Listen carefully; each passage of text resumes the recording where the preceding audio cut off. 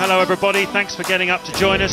I believe you will not regret it. This promises to be a hugely entertaining race, certainly if the grid is anything to go by. We have the three drivers who have dominated this World Championship, all starting from the back of the grid for once.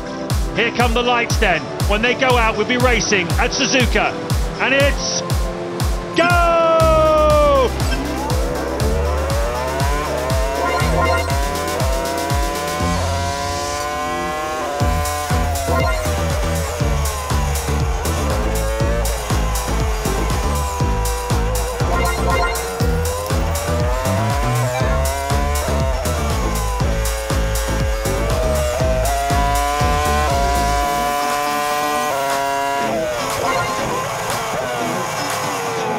Kimi Raikkonen straight across the chicane. There's a route back on, but look at them, they're streaming past him. Bad mistake there. And there's a car heavily in the barrier on the left hand side. But it's, the McLaren. It must be Montoya. Montoya off the road. Raikkonen's on the move here. Fantastic racing here at Suzuka. Second Degner, Pizzonia off. Don't know what's going on with this lot today. They just look like they're not making any allowances for the track conditions and the lack of grip that they're bound to have out there.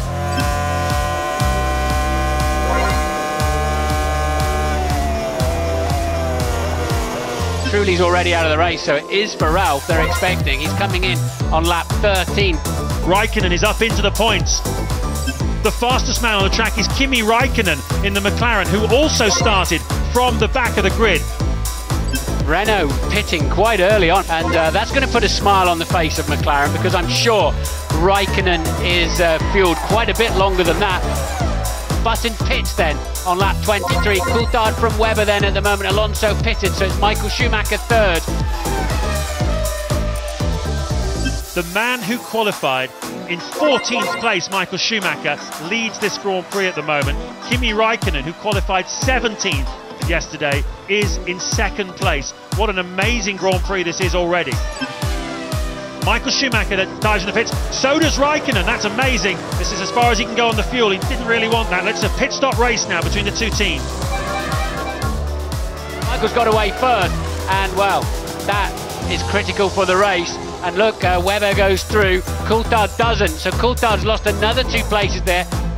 Ralf Schumacher. He's diving into the pits. It's almost like they're three, if not four, stopping. They're really struggling, aren't they? I mean, why they're running so little fuel? It's making no sense at all.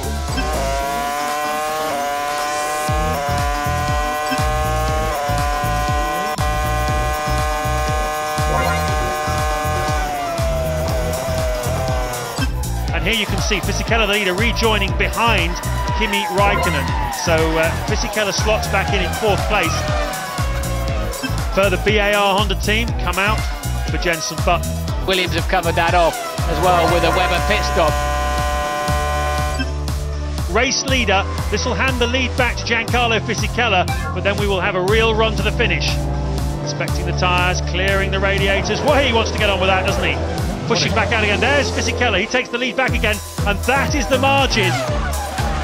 And Raikkonen is absolutely hauling him in. Has he got enough traction to keep the McLaren behind him? He's really left himself to be a sitting target now. He'll have to go defensive down the inside. He'll have to go tighter than that. Oh, and they nearly touch. Can Raikkonen sweep in? Yes, Yes! brilliant. What a brilliant move! Side by side down the straight.